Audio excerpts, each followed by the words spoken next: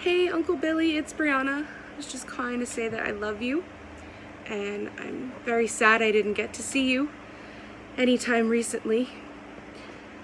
And whenever you're ready, just know that my dad's waiting. He's waiting for you. I love you so much.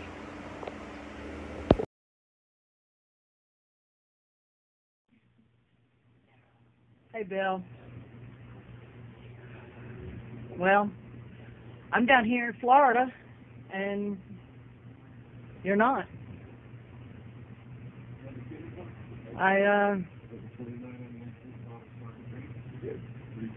at a loss for words right now. I really don't know exactly what to tell you, other than the fact that I have, I love you. I have always loved you in my family. My cousins mean the world to me. I've always been the closest with you and Bob. And you've always been there for me.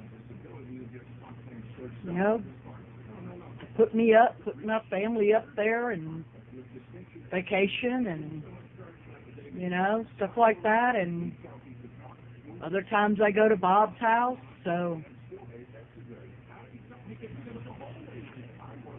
anyway,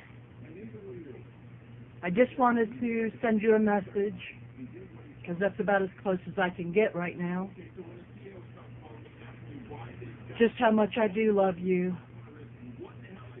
And I wish I was there to hold your hand. Just to let you know I was there. I wish I was there to hold Mary.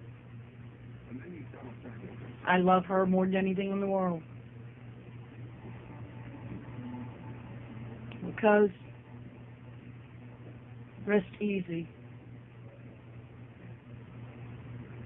I love you, Billy. Bye.